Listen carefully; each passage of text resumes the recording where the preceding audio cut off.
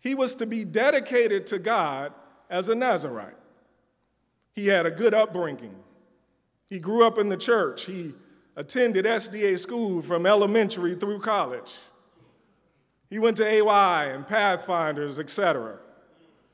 He grew up being taught of the Lord at home, and his parents did everything that God instructed them to do. Yet Samson still became a tragic story of what if. The sobering thought in all of this is that godly parents are no guarantee that your child will make good choices. You can do everything you think you know to be right. But your son or your daughter still has to make his or her own decisions to follow Christ themselves. Sometimes, as parents, we may beat ourselves up when our children choose a path outside of the will of God. I know I do at times. And yes, some of that is the result of our own slackness in modeling to them the way we should live. But the life of Samson reveals that even when parents follow what they believe and know to be the will of God, their offspring may still go astray.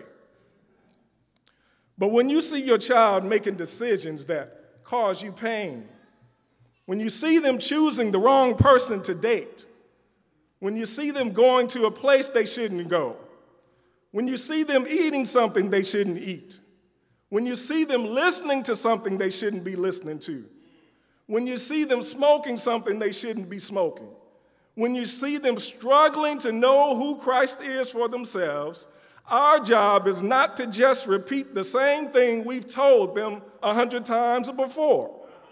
Our job is to be the godly parents that God called us to be. Remind them that they are loved by us and by the God of the universe. And stay on our knees praying for them and claim God as his promises. In Proverbs 14 26, the word of God says, In the fear of the Lord, one has strong confidence and his children would have refuge. And in Isaiah 49 25, another promise says, I will contend with those who contend with you, and I will save your children. So I'm here to tell you if your child is one of those choosing his or own, own way, stop beating yourself up, stay on your knees, keep lifting them up, because God is not through with them yet.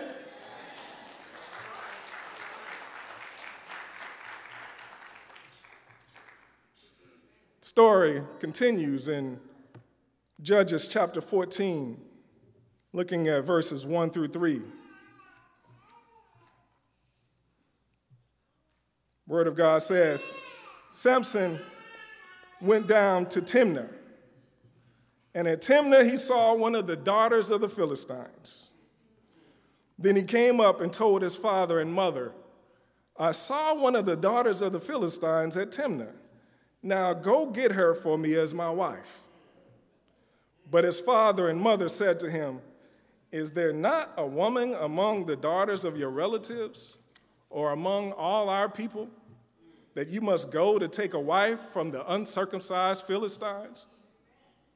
But Samson said to his father, Go get her for me, for she pleases me well.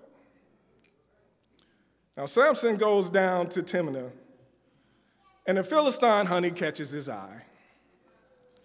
He immediately tells his parents to get her for him to be his wife.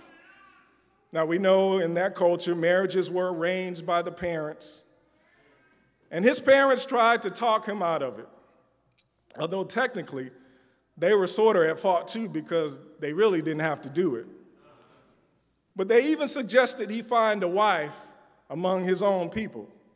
But Samson wasn't having it uh, them church women just didn't do it for him. It's no secret that Samson's weakness was women, but just not any woman. It appears he had a certain type. He also had an ego so large that it probably couldn't fit in this room. But see, Satan knew what Samson's weakness was, and he no doubt came right after it. And just like with Samson, the enemy comes at us with a customized plan for our weaknesses. So he studies us individually because what he tries for me is not the same thing that he's going to try for you. See, and that's why we can never walk around as if we have it all together, looking down on others that have different weaknesses than we do. We are not in any position to compare each other's sins because the fact of the matter is, we all have something. And my something is no better than your something. But notice what Samson says at the end of verse 3. Some versions say, he said, For she pleases me well, but I like what the English Standard Version says. It says, She is right in my own eyes. Now, this is the same wording that is used in Judges chapter 16 and verse 7. In Judges chapter 16 and verse 7, it says, In those days there was no king in Israel. Everyone did what was right in his own eyes. As was often the case, this was a time when Israel would practice roller coaster religion. They would turn away from God, begin worshiping idols, get put into captivity, repent, turn back to God, usually led by someone who was faithful to God. And Samson served as a model for those who followed him. But because of his struggles as a judge and a leader, right after he, he died, it says this in the very next chapter. In verse 6, that everyone in Israel did what was right in their own eyes. You have to be careful of the impact that you have on others around you and those that will follow you, whether it be someone on your job, or someone on the basketball court, or someone even in the church, someone in your own family, even your children and your grandchildren, be careful because they are watching you. The story continues, it progresses in Judges chapter 15, verses 5 through Judges, I'm sorry, Judges 14, verses 5 through Judges 15. Now, we don't have time to read the whole story, so I'll summarize some of it for you.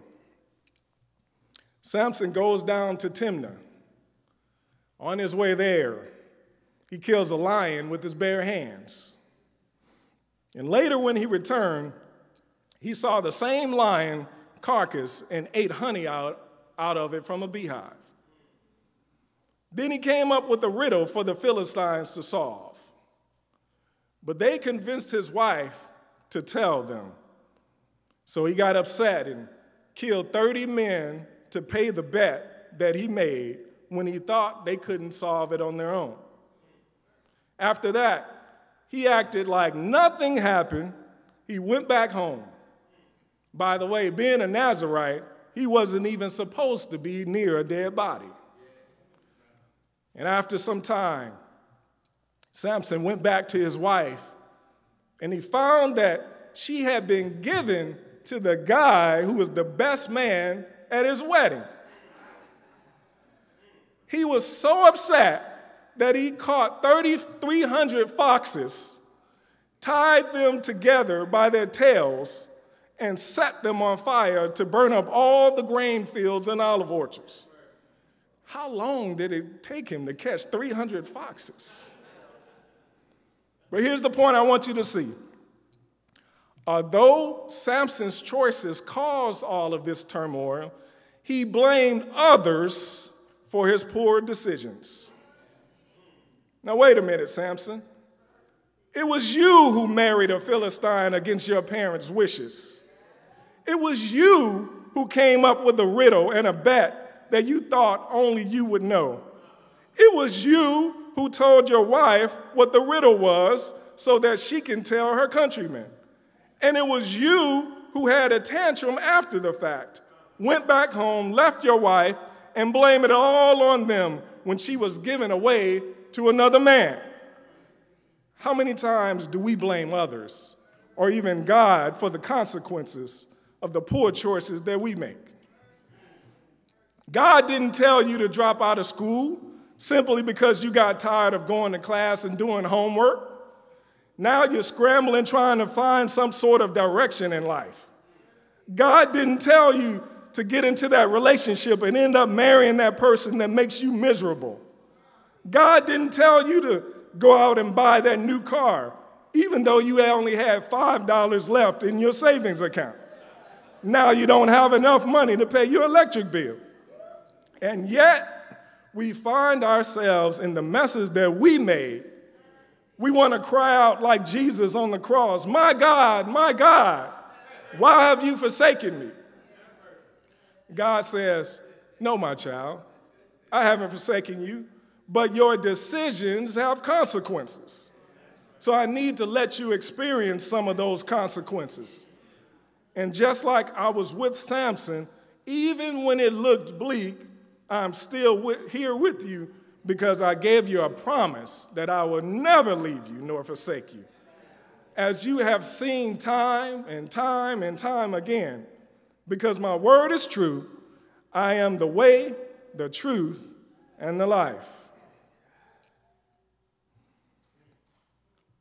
So now we get to Judges chapter 16,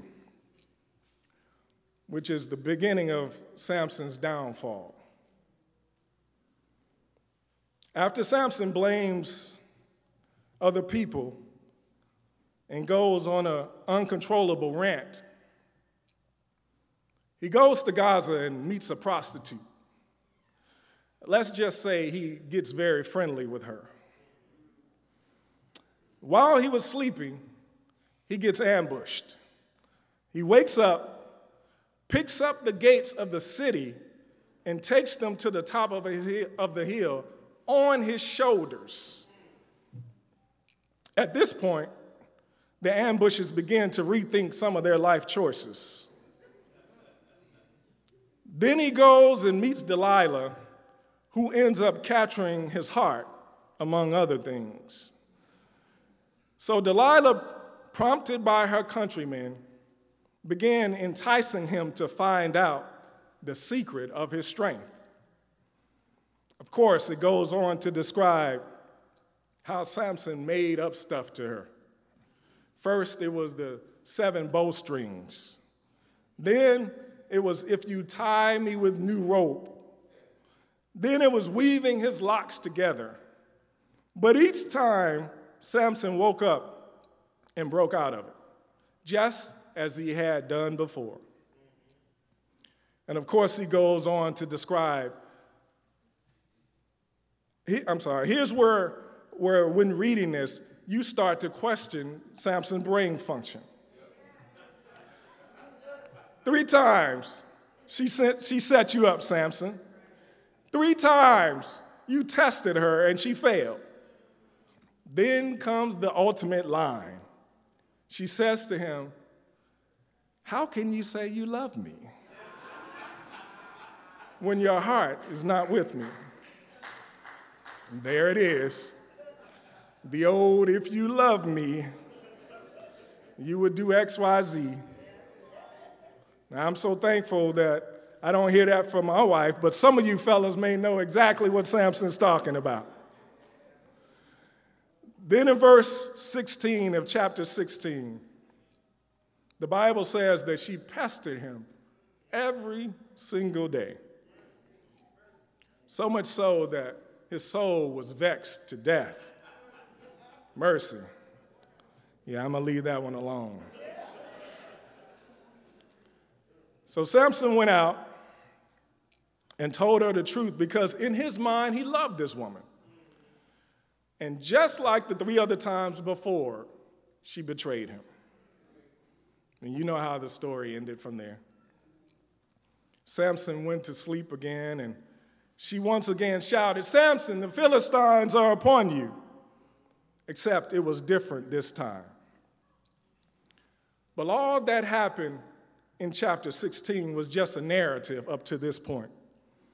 The point I want to leave with you is found in verse 20 in Judges chapter 16 and verse 20.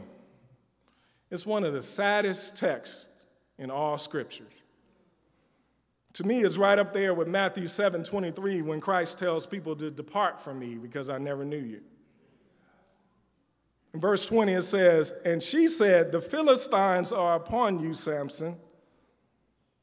So he awoke from his sleep and said, I will go as before at other times and shake myself free. And here's the point. But he did not know that the Lord had departed from him. Although Samson looked different now because his hair was cut off, when he woke up, he felt the same as he did as when he went to sleep. He thought that he could rise up and handle business like he did all those times before. However, he did not know that the Lord had left him. Samson was struggling from spiritual arrogance. He thought because the Holy Spirit of God was upon him that he was straight. So that day would be just like any other day. He kept playing with fire, getting cozy and comfortable with sin, and he thought it was no big deal. How many times, Samson, did God try to show you that you were in the wrong relationship with the wrong person? How many times, Samson, was the Holy Spirit pleading with you to turn and run like Joseph did with Potiphar's wife? How many times, Samson, do you have to fall for the okey doke and share your secrets with not one, but two women who pressured you until you gave in?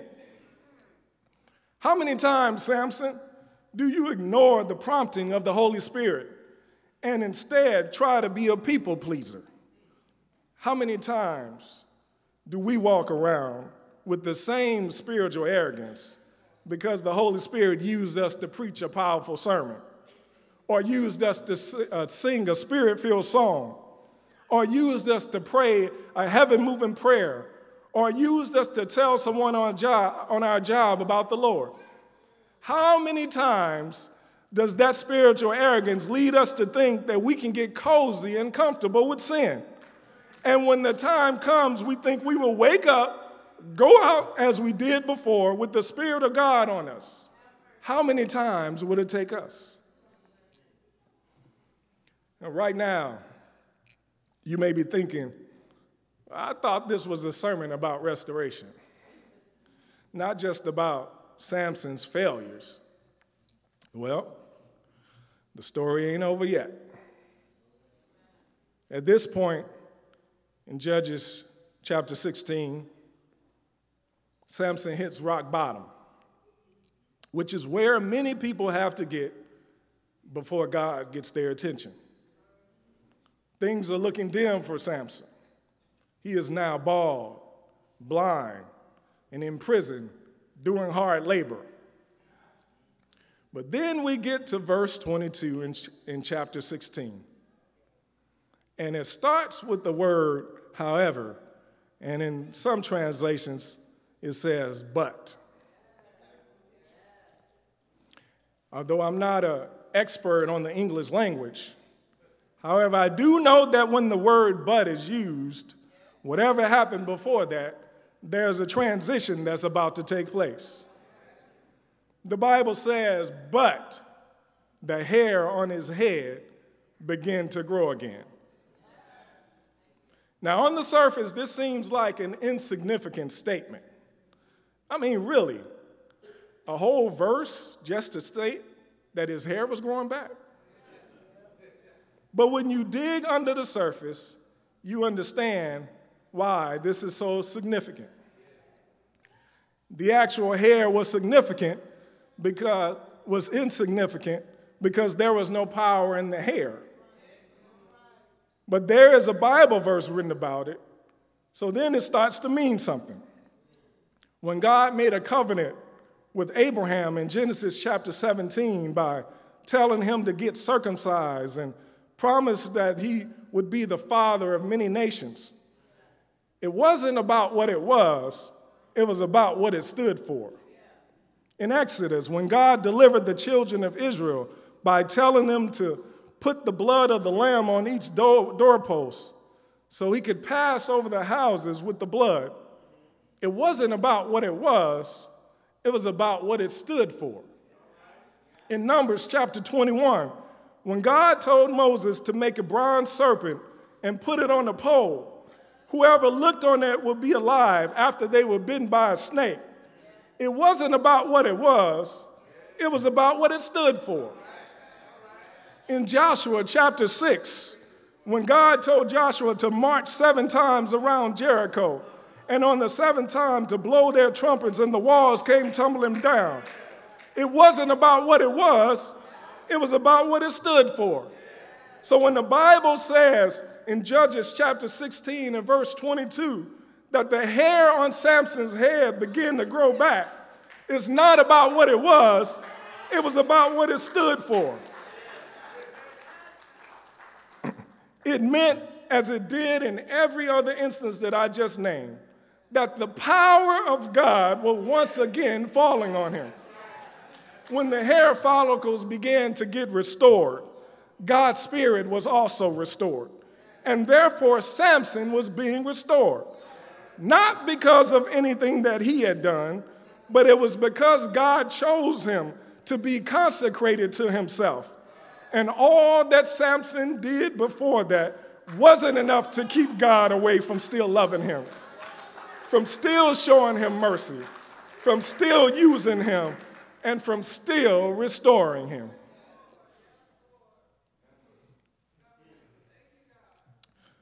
Now, the rest of the chapter in, verse, in chapter 16, verses 23 through 30.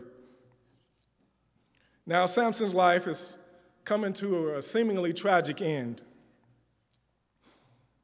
He's paraded out like a court jester and as entertainment for the Philistine leaders and their guests. And when he saw them, he began to praise. When they saw him, they began to praise their own God, their God of Dagon, and said, Our God Dagon has given Samson into our hands. Okay, Samson had to be brought down a few pegs because he didn't follow God's will. But now you're giving credit to a false God? God now has to show himself strong once again. You should have left well enough alone. Well, you know how the story ends. Samson is taken to the main pillars of the building where he once again called on the name of the Lord. But I read in Psalm 91 15 where it says, When you call on me, I will answer. I will be with you in trouble. I will deliver you and honor you. So even after all of what Samson went through, he knew to call on the name of the Lord one more time. And God heard his cry, and he gave him strength to destroy the enemies of God. And that's the last we hear of Samson until we get to Hebrews chapter 11. Hebrews chapter 11 starts off defining what faith is we all know it now. Faith is the substance of things hoped for, evidence of things not seen. And it provides a list of titans of faith and what many of them did by their faith. Talked about how faith, by faith, how Abel offered a more acceptable sacrifice than Cain, through which he was recommended as righteous. By faith, Enoch was taken up so that he could not see death. By faith, Noah condemned the world and became an heir of righteousness. By faith, Abraham obeyed when he was called to go to a foreign place and also offered up Isaac. These are some heavy hitters. And this is the Faith Hall of Fame. These are the best of the best. It goes on to talk about what Isaac and Jacob and Joseph, and Moses, the children of Israel, and even Rahab did by faith. Then it says, And what more shall we say? And there isn't enough time to tell of Gideon and Barak and Samson and Samson?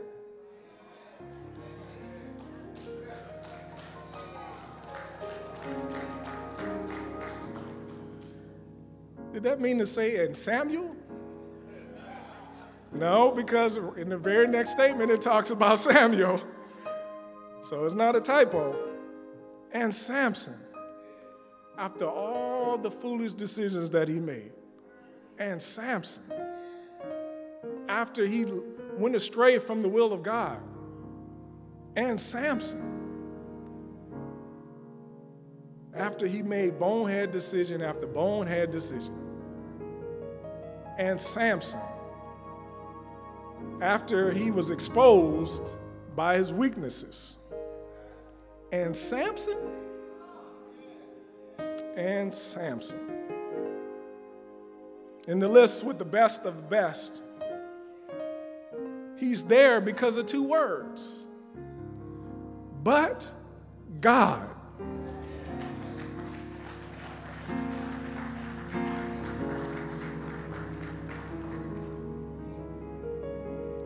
Despite all of the mess that he got himself into, Samson had a but God moment. And God is still in the business of restoring that which looked like it should be condemned. The Apostle Paul, he puts it this way in Titus chapter 3, verses 3 to 5.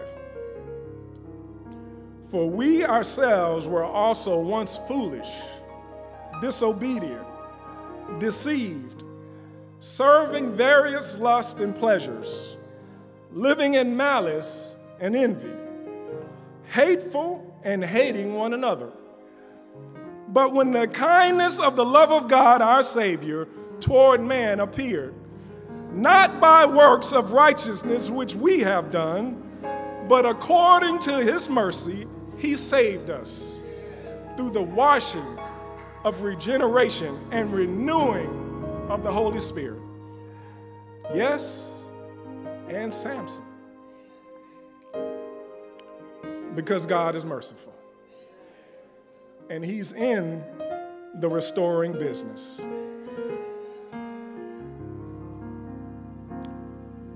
Someone here today, you bow your heads with me.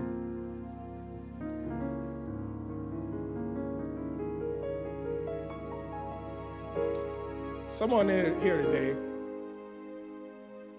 is looking for this opportunity to be restored with God.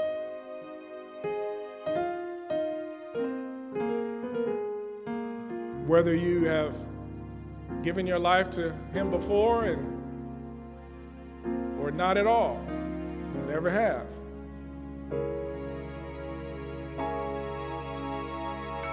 understanding that God is in the restoration business.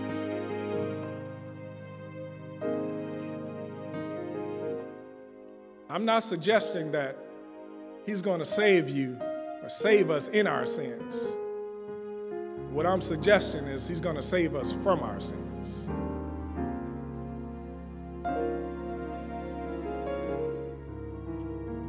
So if you're here today, right now,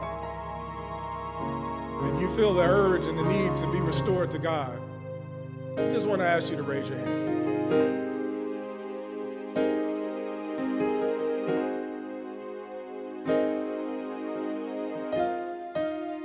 Be, uh,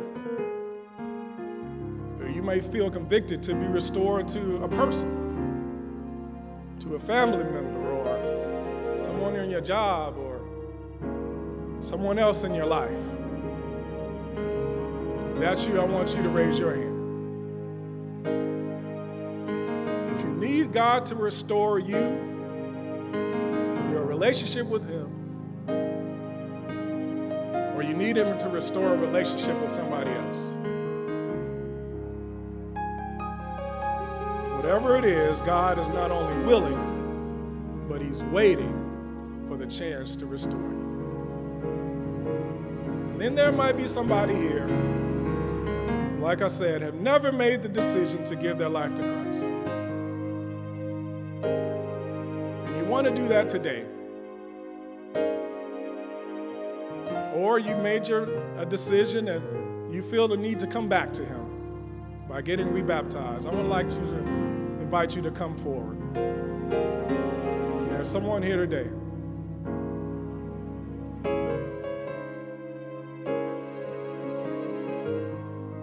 You like to make a decision, give your life to Christ for the very first time, or you'd like to get rebaptized and feel the need to restore your relationship with Him.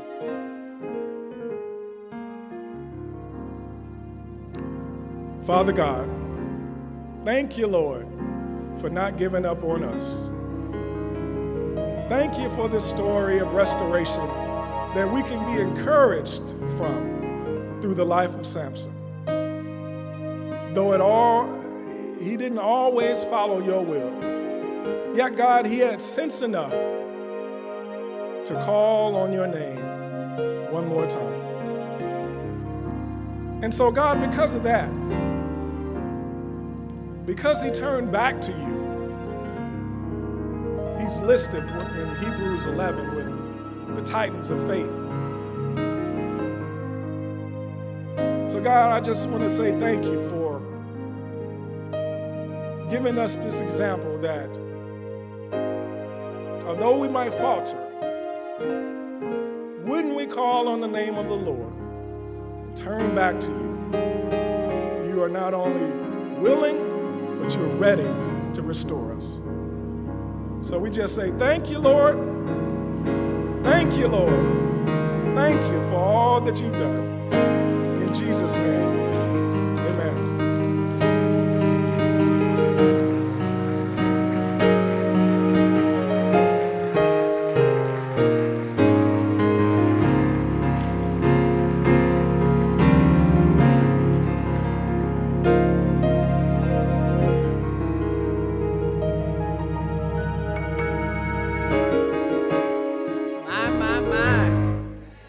God did it again.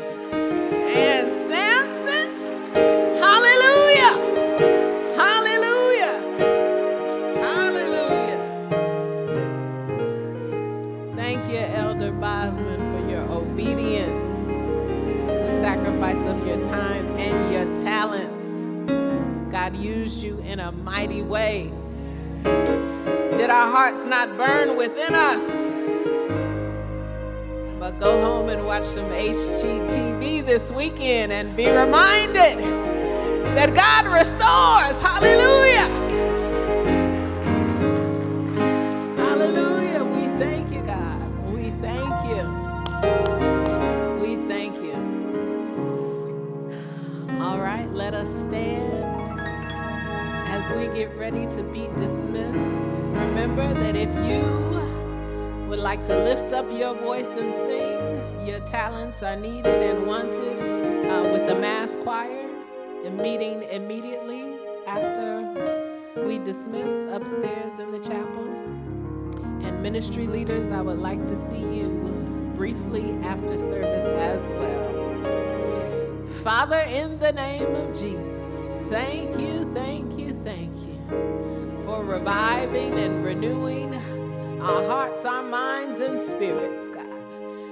You came in like a mighty rushing wind, and your spirit filled the tabernacle. And so we leave refreshed, revived, restored, and renewed, knowing that God is with us, that God is for us. And if God be for us, who can be against us? So we submit ourselves to the mighty hand of God to do with us what you will, Father. Have your way as we leave this place, but never your presence. In Jesus' name we pray. Amen and amen. Hug someone, love someone. Happy Sabbath. Don't forget green, pink, blue, and black for next.